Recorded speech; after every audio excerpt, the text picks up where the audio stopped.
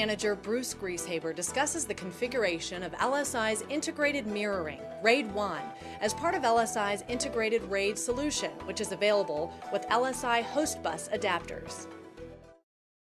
Today I'm demonstrating the LSI integrated mirroring.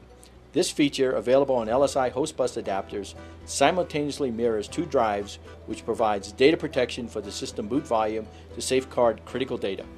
LSI Integrated RAID is a low-cost hardware RAID solution made possible by the Fusion MPT architecture.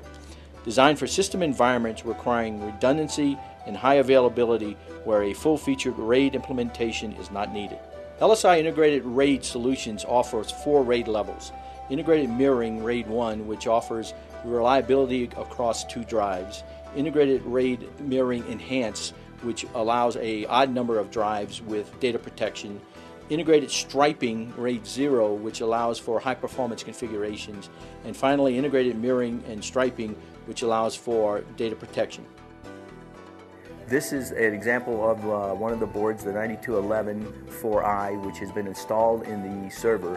And what we will do next is go through the different configuration utilities available uh, the, uh, to generate two RAID volumes. What I'm going to do is go into the configure utility from here.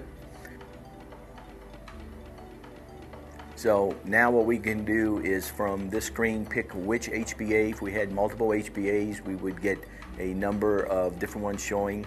In our case, uh, I have installed the 9211 4i. I select that device and uh, I have different options now in the RAID uh, BIOS utility. I want to select RAID properties and what you'll see is uh, I have four choices here.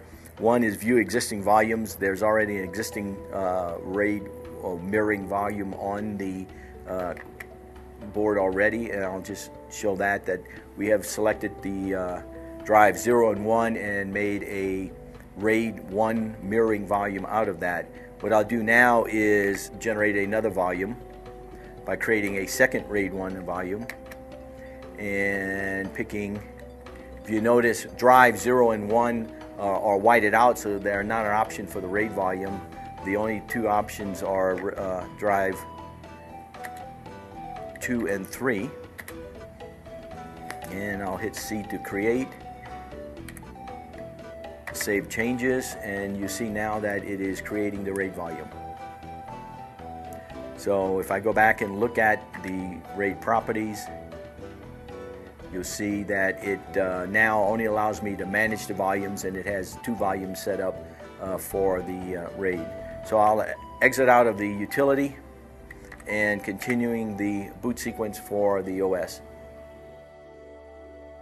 For more information on LSI host bus adapters and integrated RAID solutions, visit our website at lsi.com.